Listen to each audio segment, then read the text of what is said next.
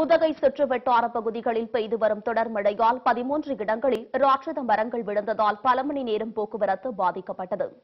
நீலகிரி மாவட்டத்தில் ஜூன் மாதத்தில் தொடங்க வேண்டிய தென்மேற்கு பருவமழை இந்த ஆண்டு காலம் தாமதமாக தொடங்கியுள்ளது. கடந்த மூன்று நாட்களாக மாவட்டத்தில் பரவலாக மழை பெய்து வருகிறது. இதனால் பொதுமக்களின் இயல்பு வாழ்க்கை கடுமையாக பாதிக்கப்பட்டுள்ள நிலையில் தொடர்ந்து மழை பெய்து வருவதால் ஆறுகளில் வெள்ளப்பெருக்கும் ஏற்பட்டுள்ளது. உதகை கூடலூர் சாலையில் பல இடங்களில் ராட்சத மரங்கள் வேரோடு சாய்ந்ததில் போக்குவரத்து கடுமையாக பாதிக்கப்பட்டது.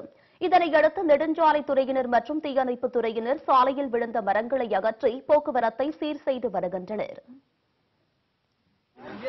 இப்போ பஸ்ஸுக்கு பஸ் இல்லை. ஸ்கூல் பசங்கள்லாம் பஸ் இல்லாத நடந்து போயிட்டு இருக்காங்க இப்போ போலீஸும் ஃபயர் சர்வீஸ் வந்து இப்போ மரம் எடுத்துக்கிறாங்க மரம் எடுக்கிறது இல்லாத எல்லாம் கஷ்டப்பட்டு ஊர் மக்களெல்லாம் ரொம்ப பொதுவாக கஷ்டப்பட்டு இருக்காங்க